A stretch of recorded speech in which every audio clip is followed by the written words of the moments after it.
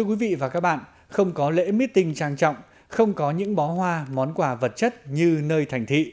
Thế nhưng, Ngày Nhà giáo Việt Nam 20 tháng 11 tại các điểm trường vùng sâu vùng xa không vì thế mà trở nên thiếu ý nghĩa, bởi luôn chứa chan tình cảm yêu thương của học trò, của phụ huynh dành cho các thầy cô giáo.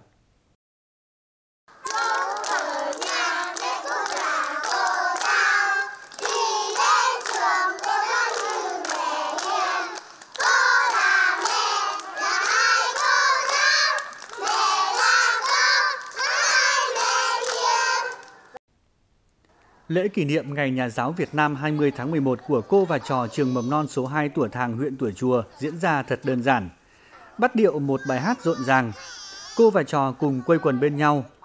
Những bó hoa dại, rau rừng giản dị được trao, cùng với đó là tình cảm rất đỗi chân thành của phụ huynh và các em nhỏ.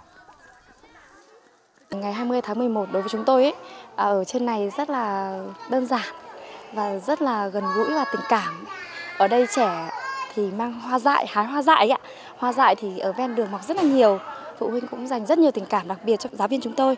Đó là có những cái gì mà mình trồng được ra, uh, quả bí chẳng hạn, hay là quả su su, hay củ khoai sọ cũng mang đến tặng rồi là cho cô giáo.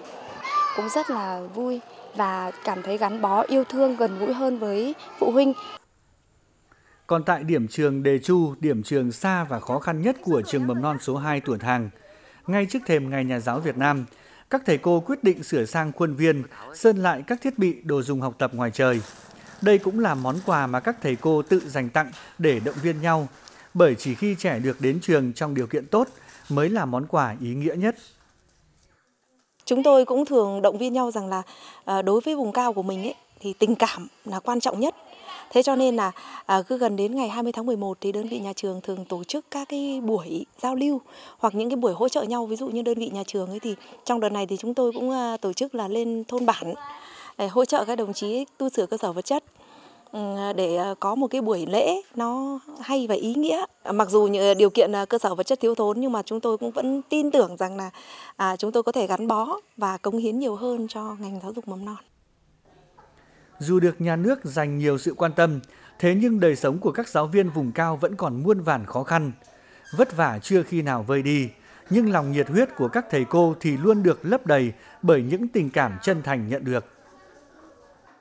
Khi mà lúc mà à, mới ra trường ấy thì à, khi mới vào đây thì cảm thấy cũng hơi buồn bởi vì ở đây rất là xa xôi và điều kiện khó khăn Tuy nhiên thì công tác ở đây một thời gian thì tôi cảm thấy là rất là yêu mến mảnh đất này và thương các em học sinh ở đây bởi vì là các em học sinh ở đây rất là vất vả, rất là khó khăn.